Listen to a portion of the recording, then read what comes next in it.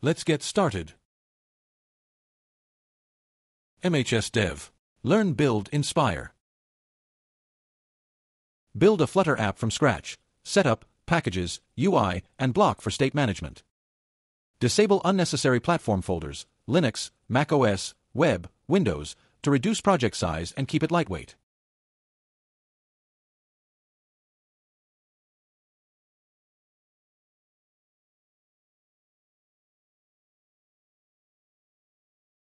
Widgets Flutter binding, ensure initialized, prepares Flutter for pre-run tasks like initializing plugins or setting orientation. System Chrome. Set preferred orientations locks the app to portrait mode for a seamless user experience.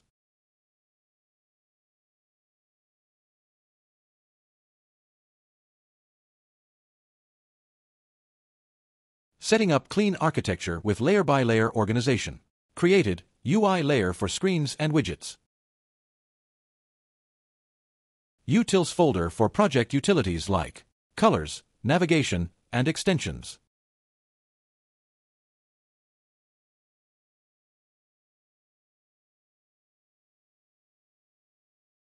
Created splash folder in screens with view folder for the splash screen, Bloc folder for managing state with Bloc slash Cubit.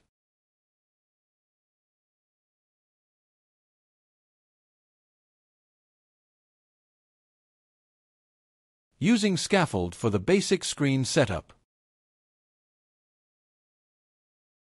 Custom scroll view with sliver fill remaining for a flexible, responsive, and scrollable layout that adapts to different screen sizes.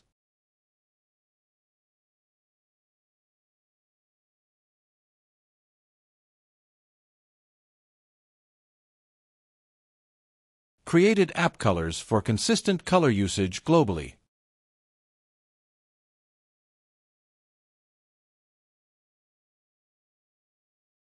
I've added extension methods for responsive height, width, font size, and radius, along with custom navigation methods. Pause the video here and follow along to implement them yourself.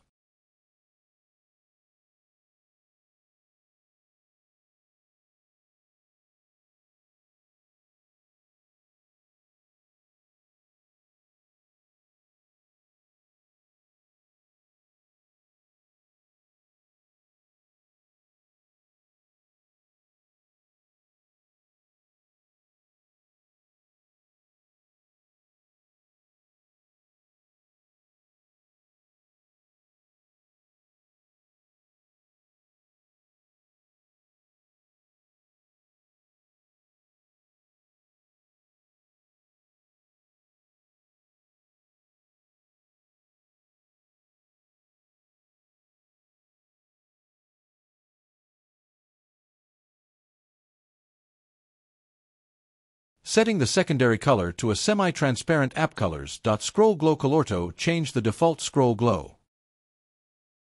Using the navigation routes class from utils, removing the home argument, and setting the routes in material app with the initial route already set to the splash screen.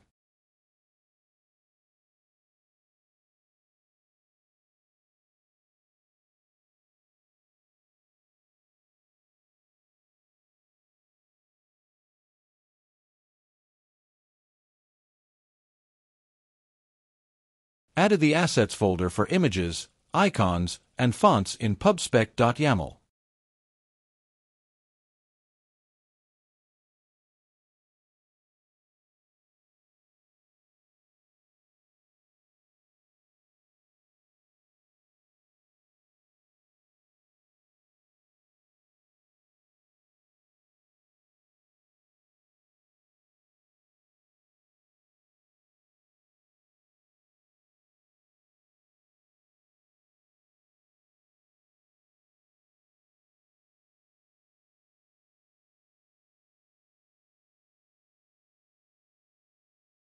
Removed the default Flutter splash screen by customizing it in launch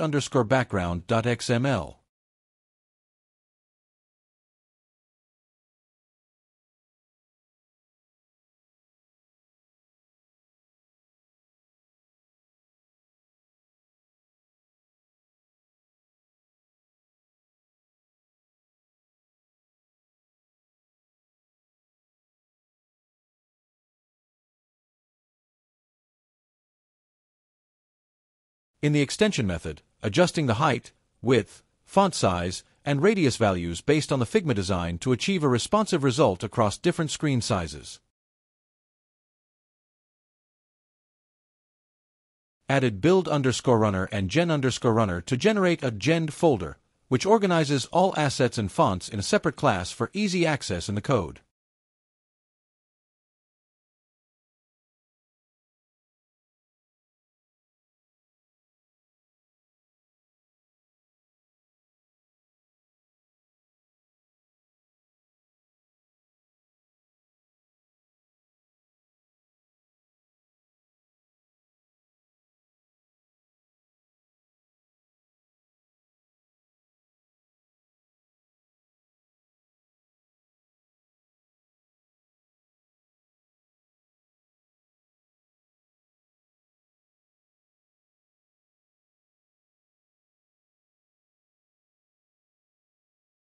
Run the command flutter pub run build underscore runner build every time to generate the gen folder and update the assets class and font family class.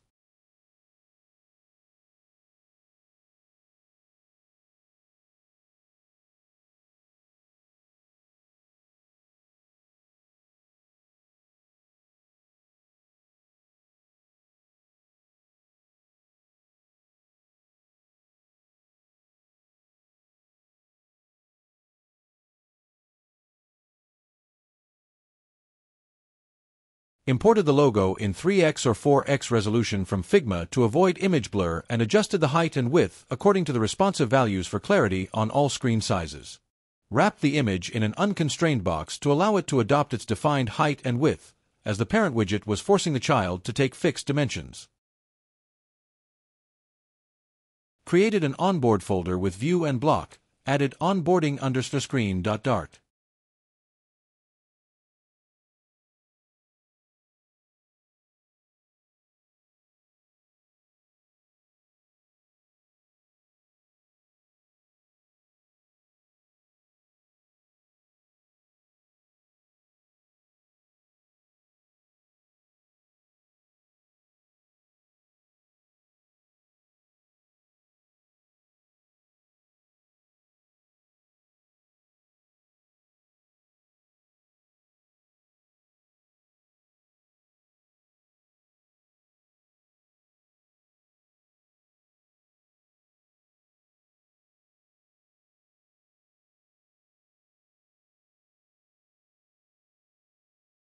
Set onboarding underscore screen as the initial screen in navigation routes temporarily.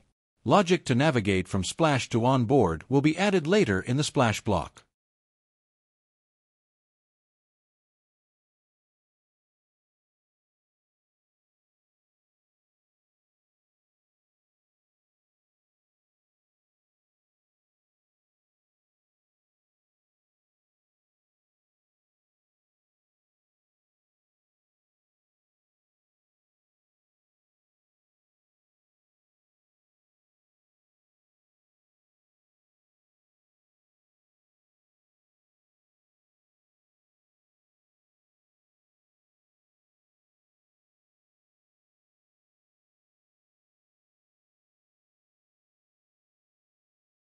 Follow along, and don't worry every click and line of code brings us closer to success.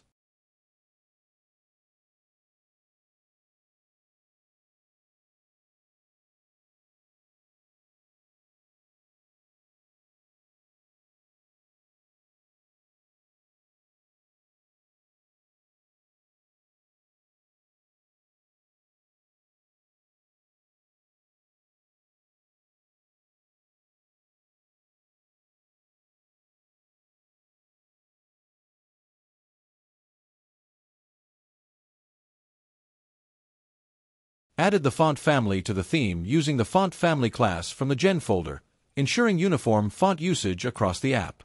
This step, ideally done earlier, makes fonts globally accessible.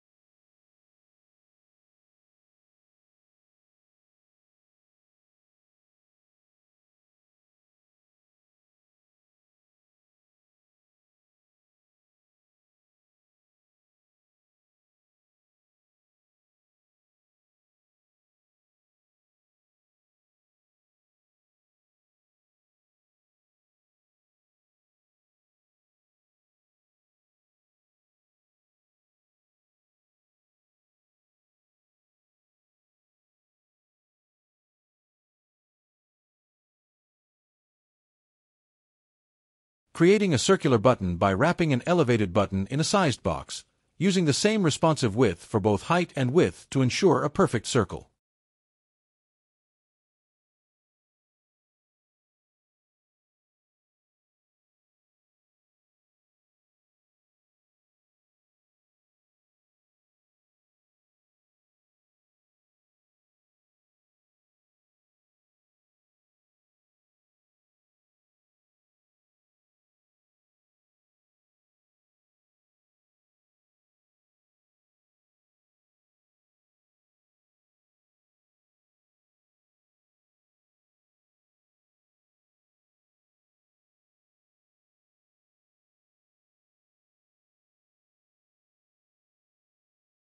Resolve the overflow error in elevated button by removing its default padding using Edge edgeinsets.0.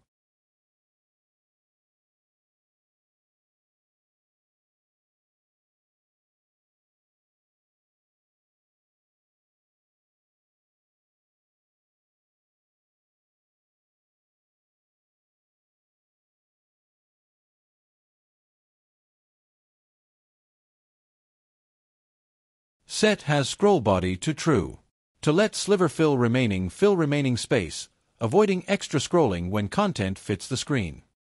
Added the Flutter underscore bloc package to the project to enable state management using Bloc and Cubit.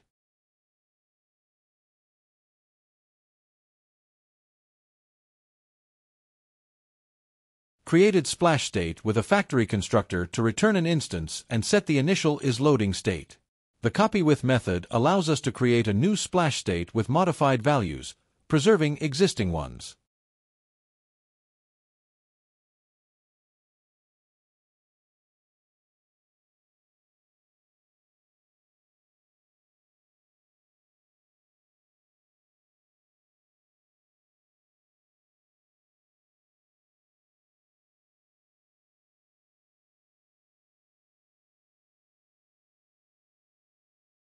In the splash Bloc, the init method waits for 3 seconds before navigating to the onboarding screen, removing the splash screen from the navigation stack to prevent returning to it.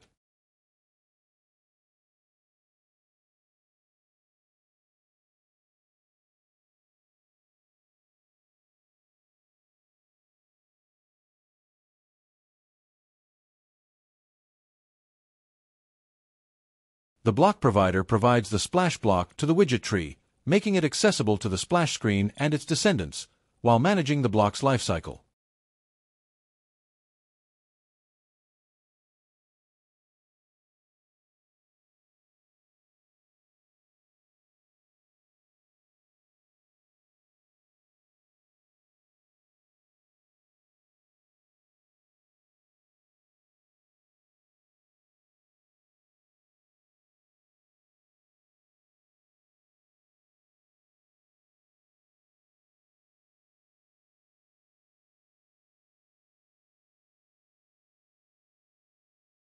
The lazy, false ensures the Bloc is created immediately, triggering the navigation logic in Splash Bloc.